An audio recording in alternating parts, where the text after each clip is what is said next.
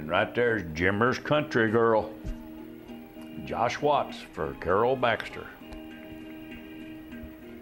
We're going to see some more of that one. Oh, yeah.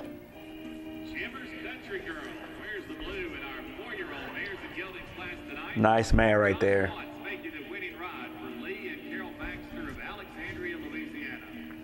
Jimmer's Country Girl